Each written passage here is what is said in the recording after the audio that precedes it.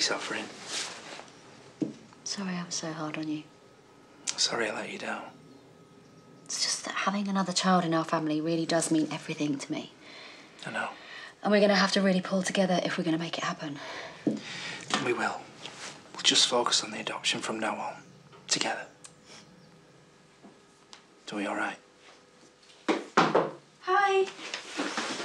Sorry, Pearl said to come straight through. Yeah, it's fine. Come in. I was just passing and I can't stop thinking about that text. I just keep blushing at how stupid I am. So I thought I'd come and apologise in person. Well, you really didn't need to. Paddy would have thought it was his lucky day.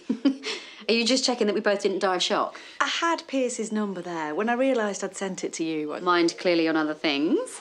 Because we didn't send it to the master, imagine. We've never done that, actually, have we? Sexting? Is that what they call it? Well, it was the first for me, to be honest. Maybe we should try it. Sorry, oversharing. oh, excuse me. Excuse me. Hello? Oh, yeah, no, that's not a problem. I'll be there straight away. All right, bye, bye. That's a breech birth. Up at Beardwood's farm, I'm to have to go. Listen, Paddy will make you a cup of tea, and seriously, don't give it another thought. Made my day. Text me, big boy.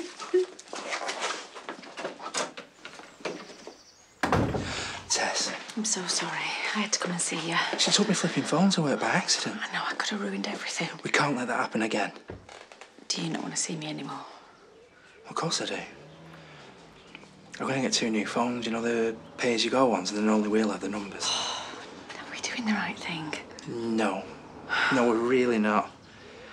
I don't think I could stop myself now, though, anyway. Neither can I.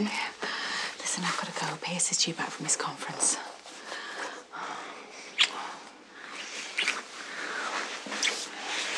嗯。